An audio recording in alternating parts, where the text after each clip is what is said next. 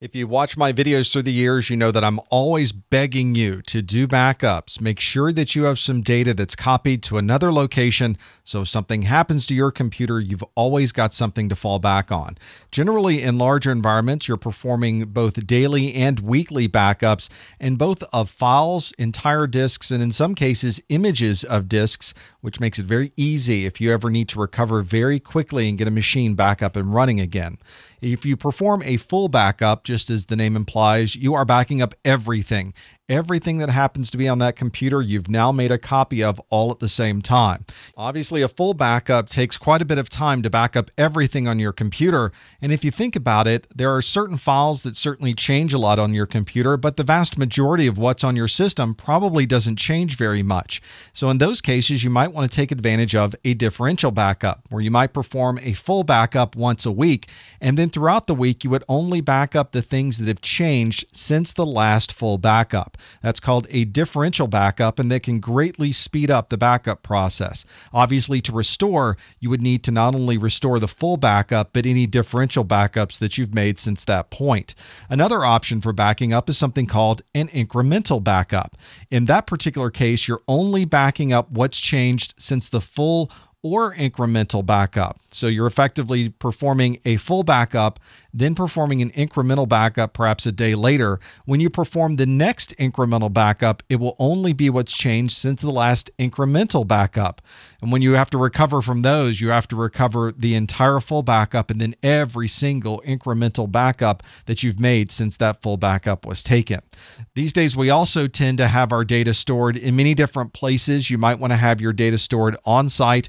In a lot of larger environments, you might take that information also offsite. That way, if something was to happen to your building, you've still got your backup data stored somewhere safe that's away from anything that might happen.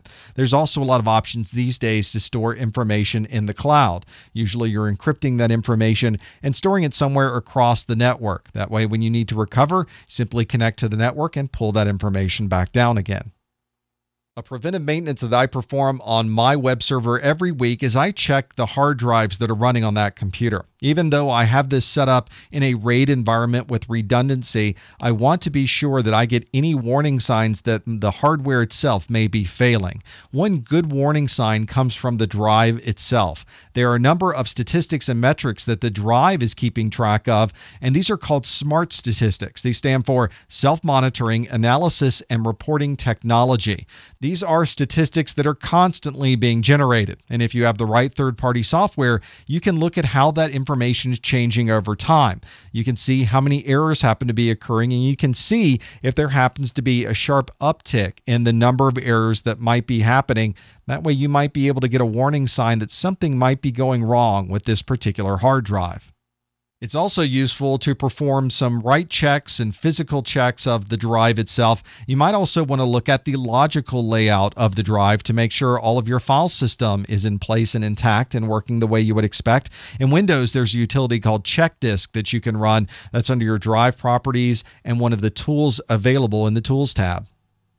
The file systems that we use in Windows very commonly will take the files that we're saving and split them up into fragments and store them in different places on the drive. Whenever we need to write that file or read that file, that spinning drive now has to access all of those different places to put the file back together again so that we can then access it in the operating system. If we could somehow rearrange all of those fragments and move things around on our drive so that the entire file was all in one place or it was contiguous, then we would be able to access that file with a lot faster read and write time. Certainly would improve the efficiency. If you'd like to run this defrag command, you'll find it in the drive properties itself. You could also run it right from the command line with the command defrag. If you look in your Windows Vista or Windows 7, you'll notice that this is already configured and set up in a weekly schedule. You can find it in your control panel administrative tools under task scheduler. Now, obviously, this would only apply if you're running this this on a physical spinning disk. If you're using an SSD, this fragmentation doesn't affect your performance at all. So if you look in this task scheduler, you'll notice that that's not enabled because Windows has already recognized that you're not running a spinning disk. Therefore, the defragmentation process is not going to help you. A good preventive maintenance best practice is to always keep your operating system at its latest version. And Windows has an automatic capability built in called the Windows Updates.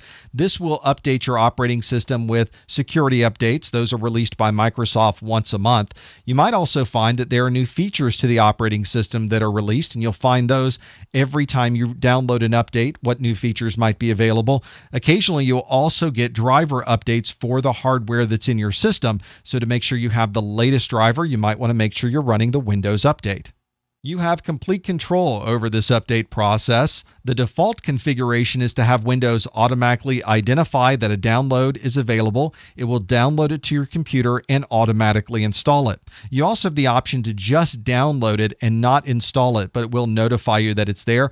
Or you can have Windows tell you that there is an update available and wait for you to begin the download process. And if you don't want any updates on your computer, you do have the option to disable this entire Windows update process entirely. In larger environments, this update process and really any changes whatsoever to the operating system or the surrounding environment is tightly controlled. There's a change control process that you must go through so that everything can be tested before putting it into effect. This is usually something that is well documented. It's an overall philosophy of the organization that protects and makes sure that all of your applications, your resources, and the services that you're providing are going to be available 100% of the time. This change and controlling the change that goes back and forth is pretty important. There have been times when these new updates that come out actually have other problems associated with them. So they might fix one thing, but they might break something else. And the thing that they're breaking might be much worse than the thing it happens to be fixing. And that's why this change control process is in place so that you can test these things before you put them into production. Usually there is a process that involves a test and a schedule of when you would implement it. There's the actual implementation of the change, and then you always need to have a rollback process. So you may have to involve backups and have a secondary process in place place in case it doesn't work properly. Just making these tiny little modifications to an application or to an operating system can have a huge impact, so you want to be sure to minimize any problems that might occur.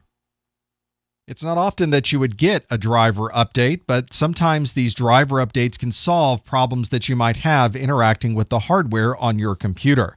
Some drivers are updated a lot more often than others. You'll notice that something like a mouse or a keyboard hardly ever has a driver update, but something like a video adapter tends to have a lot more frequent updates. The video adapters are much more complex pieces of hardware, so it makes sense that the drivers would be constantly updated. Many of these drivers are available through Windows Update, and it will tell you if new drivers are available for your computer. But not all manufacturers will make their drivers available through Windows Update. You may have to go directly to the manufacturer's website to be able to download the latest version of the drivers for your hardware. Windows has a huge market share, so it's obviously very attractive to the bad guys. They want to be able to infect and take over your computer with their viruses and their malware. So you want to be sure that the antivirus and the anti spyware on your computer is constantly updated with the latest signatures. Those signatures are made available generally every day by the antivirus and the anti malware companies, so you want to make sure that you always have the latest ones on your computer. Even missing it by a day might open open up an opportunity for the bad guys to then infect your computer. If you look at your antivirus or your anti malware, there may be a schedule that allows you to set up that automatic downloading and installation of the latest signatures. You might even want to set it to be even hourly to make sure you have the latest. If you're running something like Microsoft Security Essentials, it is set up to perform those updates automatically. There's nothing that you need to configure. It's always going to keep your machine updated with the latest signatures. And this is incredibly important because new viruses and new malware is being released all the time. By having the latest signatures, you can be assured that your computer is going to be as safe as possible against these threats.